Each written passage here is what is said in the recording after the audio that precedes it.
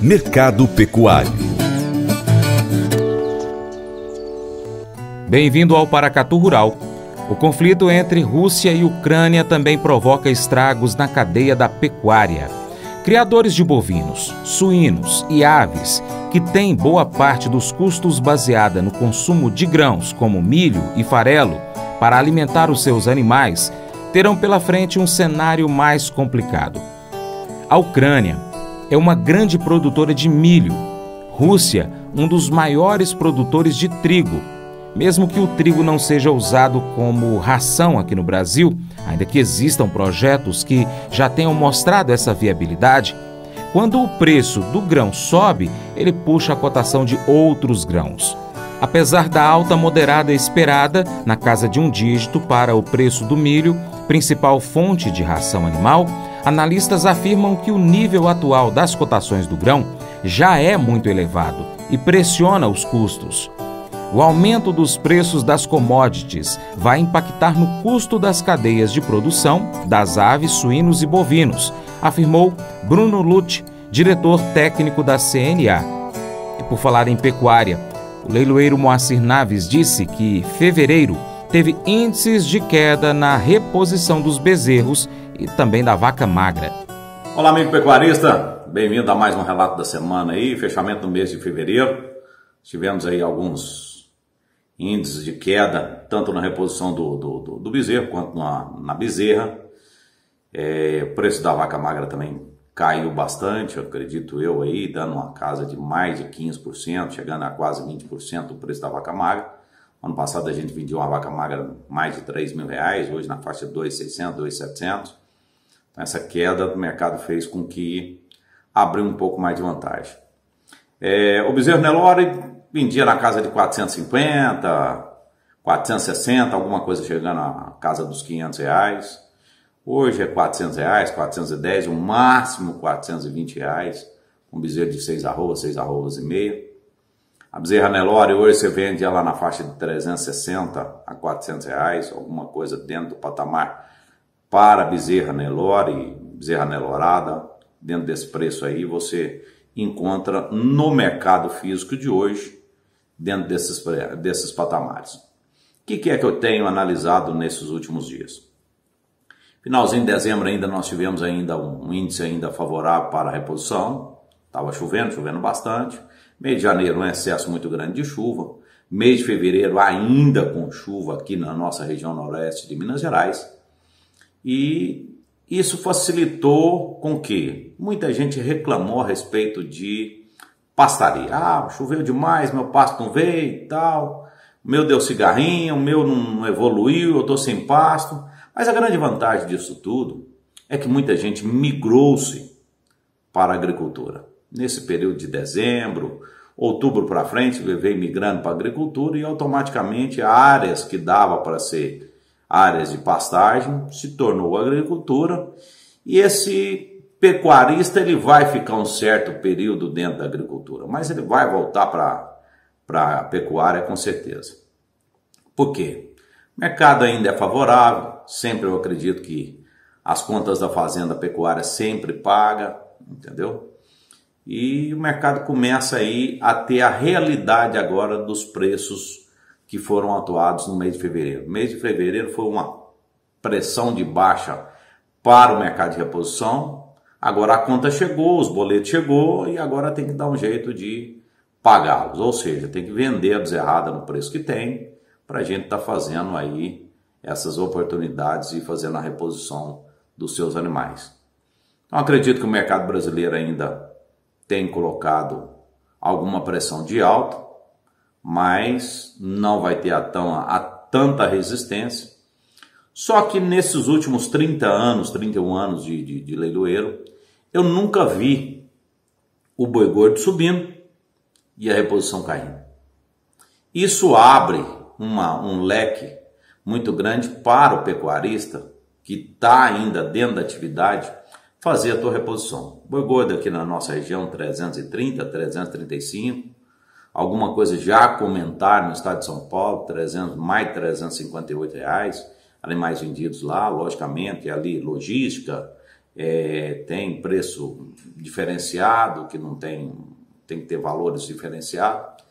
Então a gente já começa a ter um movimento muito grande para a exportação e uma retração nisso aqui. Aí é o que eu venho batendo desde o início do mês, final do mês de janeiro, início do mês de fevereiro, eu venho batendo na nossa reportagem. É a opção, é a hora de você estar tá fazendo a sua reposição com índice mais favorável, porque eu ainda não tinha visto nos últimos 5, 8 anos é, quem tinha um índice de 2,4, 2,5 bezerro por boi gordo. Então, assim, é muito vantajoso nesse momento. Chegamos a ter um índice aí de 1,9, 2, 2,1. Então, mercado tinha dado uma apertada, sim. Agora, 2,4, 2,5 já é muito favorável. Então, acredito que o pecuarista refletiu um pouco mais, colocou o preço do bezerro, o que é justo dentro do mercado, e agora eu acredito que o mercado segue alinhamento nesses preços da agora para frente. É, vamos ver agora o que é que vem agora para o início do mês de março. Nós temos alguns leilões na quinta-feira, na sexta-feira, e na outra semana eu já volto para você aí com um novo relato do que é a pecuária já no mês de março. Um forte abraço, que Deus acompanhe vocês aí e fique com Deus até o próximo relato. O mercado das carnes indica que o boi continua forte nas exportações e foi um dos melhores meses de fevereiro na história. Compradores continuam querendo a carne brasileira. O frango, neste mês de fevereiro, também foi acelerado na exportação e a demanda interna deve crescer. O suíno se equilibra e mostra reação nas cotações, mas das três carnes ainda é a mais lenta. E o mercado das carnes, no meio do feriadão, também esperando os novos números aí da CSEX, que serão divulgados aí no, no, fechamento do mês de fevereiro, mas indicando aí que o boi deve seguir forte aí, provavelmente acima de 140 mil toneladas, fechando o mês de fevereiro, sendo um dos melhores meses de fevereiro da história e o acumulado do ano já perto na faixa de 290 mil toneladas, frente a patamares de 210 mil toneladas do mesmo período do ano passado. Então, boi vai mantendo de indicativos firmes, acima de 350 reais arroba no Boi China e mercado comprador, principalmente com espaço aí para novos negócios da exportação que vai agitando. Compradores internacionais querem a carninha brasileira. E aqui no mercado brasileiro, o pessoal também esperando aí que agora com o feriadão no carnaval tenha uma demanda, churrasquinho sejam feitos por aí afora e reposições aí dos supermercados e varejo de carne nos próximos dias aí passando o feriadão. Frango também segue com o pé no acelerador na exportação, no momento aí já fechado o mês de fevereiro, mas ainda não saíram os dados finais, mas tudo indicando aí que tem perto de 330 mil toneladas embarcadas no mês de fevereiro e vai com o pé no acelerador aí frente às 323 mil toneladas embarcadas em fevereiro do ano passado. No acumulado do ano, provavelmente vamos fechando o, o, o mês de fevereiro, nos dois primeiros meses aí, com mais ou menos umas 650 mil toneladas frente a 620 mil mil toneladas do período de janeiro e fevereiro do ano passado. Então, mercado do frango também evoluindo na exportação e internamente a demanda segue com fluxo, com boas expectativas de demanda agora em março aí, que a volta às aulas, a volta do Brasil trabalhar, tudo indica que a demanda de, de a, do frango também deve crescer internamente, não só na exportação, como no mercado doméstico também. E o setor do suíno? O pessoal se ajustou muito aí no sudeste, que vinha carregando prejuízos grandes aí em cima do suíno, principalmente aquele não ligado à integração, o suíno independente, em função do custo dos insumos de ração, e agora equilibrando um pouquinho a situação da oferta, mercado suíno mostrando uma pequena reação também nas cotações e também no pé no acelerador na exportação, mercado acreditando aí que o fechamento do ano, do mês aí, fique aí acima de 65 mil toneladas, perto das 71 mil toneladas de fevereiro do ano passado, e no acumulado do ano aí nós fiquemos aí na faixa dos 125, 130 mil toneladas da carne de suíno frente a 120 mil toneladas do mesmo período do ano passado. Então, mercado suíno ele começa a engatinhar num ritmo melhor, mas é o dos três carnes é o que está mais lento aí, mas tentando sair da crise que impactou aí o segmento em função do custo de produção e da demanda doméstica veio reprimida aí no, nos primeiros primeiras semanas do ano. Agora espera-se que em março em diante a demanda volte a fluir e ajude a dar mais liquidez aí o suíno também no mercado doméstico aí. É isso aí, amigo produtor, aqui foi o Brandalize, mais um minuto do produtor. Um grande abraço a todos, até o próximo. Mas eu vou dizer uma coisa pra você, viu? É, se quiser colocar propaganda sua aqui nesse programa, ó, eu vou dizer um negócio, você vai ter um resultado bom demais, senhor. É isso mesmo, é facinho, facinho, senhor. Você pode entrar em contato com os meninos ligando o telefone deles, é o 38, é o 99181 0123, bem fácil. É muito bom porque aí a sua empresa vai sair dentro de um programa que é ligado aí ao homem para mulher do campo. É nós que vai estar tá assistindo e também vai ver sua propaganda. É bom ou não é, só? Chegou a hora dos abraços para os ouvintes, telespectadores e internautas.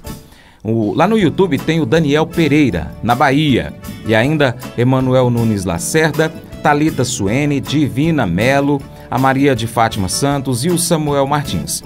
No Instagram tem a Ciana Andrade Barros, Igor Domingos, Bruna Lima, Cristiano Rabelo de Souza, Lorena Vitória Claudino, Marcelo Caixeta, Luan Vitor, Felipe Damasceno, Moacir Naves, Silvério Lourenço.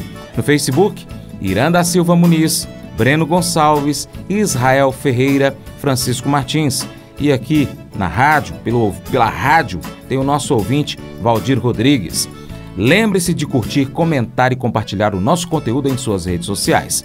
Seu Paracatural fica por aqui. Muito obrigado pela sua atenção. Para minha esposa Paula, aquele beijão. Você planta e cuida. Deus dará o crescimento. Até o próximo encontro. Deus te abençoe. Tchau, tchau.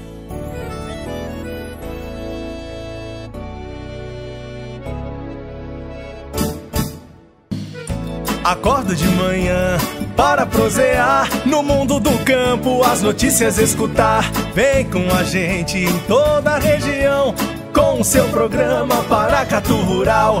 Tem notícias, informação e o mais importante, sua participação. Programa Paracatu Rural. Programa Paracatu Rural.